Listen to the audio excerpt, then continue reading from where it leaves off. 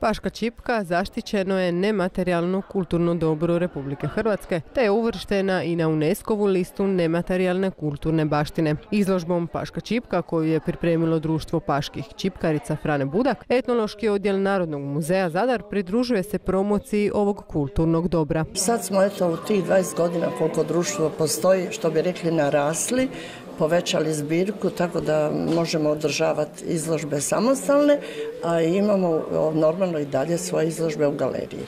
I zato smo tu da to što imamo novo pokažemo. Društvo paških čipkarica Frane Budak osnovano je 1997. godine na inicijativu nekoliko paških čipkarica svjesnih značenja ovog jedinstvenog tradicijskog izričaja. Stoga je upravo ovo društvo zaslužno da je paška čipka postala dio svjetske kulturne baštine jedno, jedan kratki pregled povijesti našeg grada, povijesti ove škole, povijesti čimkarstva, onako u natoknicama.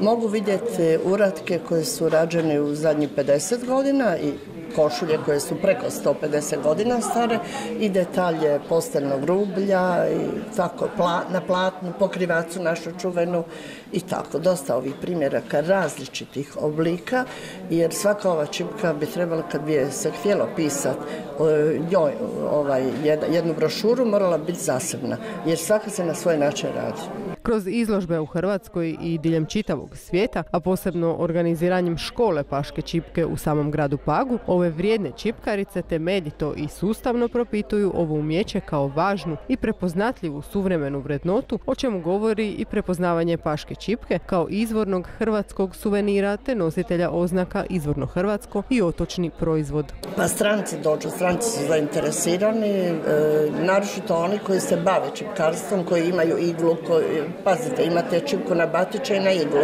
Neko preferira iglu, onda ti ljudi dođu i eno, nešto znaju pa nešto nadopune i tako.